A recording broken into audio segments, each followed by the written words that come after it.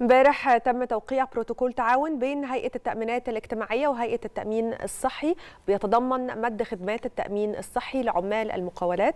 وبالتالي أي حد من عمال المقاولات متأمن عليه هيروح لأقرب مكتب تأمينات تابع ليه وهيسدد الاشتراك الشهري بتاع التأمينات اللي هو 140 جنيه وهيسدد كمان 14 جنيه اشتراك للتأمين الصحي ويستلم بطاقة التأمين الصحي من مكتب التأمينات. دار الإفتاء المصرية طلعت امبارح بيان أكدت فيه على إن الابتزاز الإلكتروني جريمة ومعصية وكمان كبيرة من الكبائر. قالت إن الابتزاز ترويع وظلم للغير والشخص اللي بيبتز غيره واللي كمان بيساعده على ده هما الاثنين بيرتكبوا كبيرة ومعصية ويجب على من وقع عليه الابتزاز أن يقاومه ولا يقع فريسة لمن يبتز. وطبعا بيان غاية في الأهمية من دار الإفتاء كده إحنا بنقول للناس اللي ممكن تعمل حاجة زي دي كده انت في الدنيا هتتعاقب لأن في قانون وفي الآخرة كمان وفقا للبيان اللي اصدرته دار الافتاء طبعا إحنا عارفين كل الكلام ده لكن في ناس بتستنى البيانات إن هي تطلع عشان تعرف حاجة زي دي لكن هو معروف طبعا بالنسبة لكل الناس. الجميل في الموضوع كمان إن دار الافتاء بتقوم بدور مهم جدا. كمان بتنصح اللي وقع عليه الابتزاز بإنه يقاوم ده ويفضل صامد وقوي وما يستسلمش وإنه يواجه سواء إن هو يعني يمكن كنا امبارح بنتكلم عن البنوتة اللي كانت من محافظة الغربية اللي حصل لها ابتزاز إلكتروني وانتحرت في النهاية ربنا يرحمها يا رب ويصبر أهلها.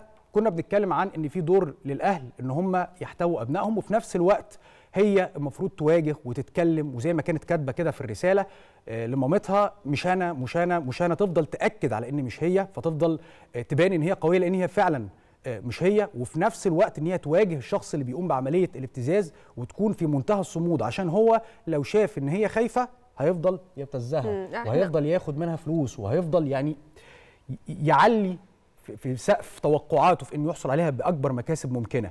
فهي تبان إن هي صامدة وقوية وبصراحة دور مهم جدا وبيان مهم جدا من دار الإفتاء في هذا التوقيت. أنا في الحقيقة يعني مش عارفة إزاي حد يقدر إن هو يبقى عنده من ال يعني ال القدرة بسميها إيه يا شاذلي مش عايزة أقول. يعني إنه قادر إن هو يكلم حد ويبتزه في الوقت ده. يعني انت بأبسط حاجة رسالة زي دي هو بعتها لك. انت ممكن تاخدي screenshot تبعتيها لمباحث الإنترنت. المجلس القومي للمرأة بيساعدك عندك كل حاجة واقفة في ظهرك. دار الإفتاء دلوقتي لما تجرم هذا العمل ونقول إن هو هتحاسب عليه في الآخرة انت كمان في الدنيا زي ما شاذلي قال هتتحاسب. ما ينفعش الناس تبقى خايفة في قانون. إحنا مش عايشين في غابة.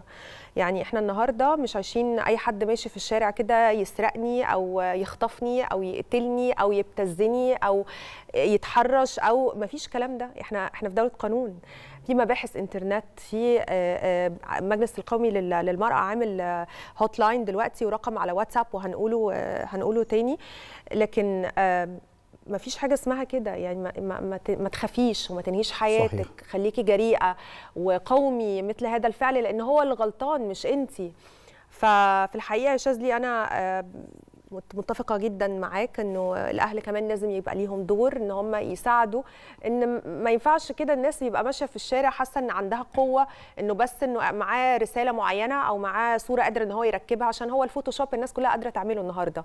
فمش هينفع كل الناس تبقى خايفة من من حاجة زي دي. انت تقدري تقاومي مثل هذا الفعل بالقانون في الآخر. وبنقول لكل الناس كمان إن الفيديوهات يا جماعة أكيد حضراتكم شفتوا إن الفيديوهات نفسها بتتركب مش الصور فقط. يعني وارد إن حد يركب لحد فيديو. إيه اللي يثبت صحة الكلام ده من عدمه؟ المختصين. بس.